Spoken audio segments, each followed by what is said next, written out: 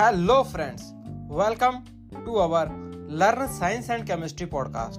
In today's podcast, we are going to discuss about type of coffee and caffeine chemistry.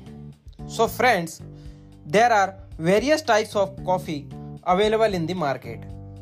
Each comes with unique flavor and characteristics.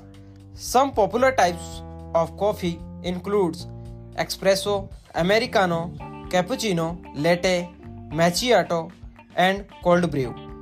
The choice often depends on personal preferences regarding strength, texture, and additional ingredients like milk or foam. Dear friends, the main ingredient of coffee is caffeine.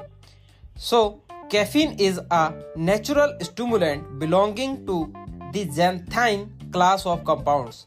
Its chemical formula is C8H10N4O2.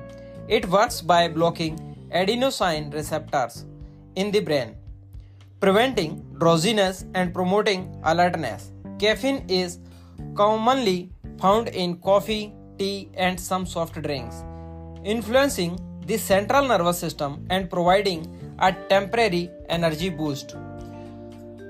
So, I think you listening this podcast means you love coffee. So,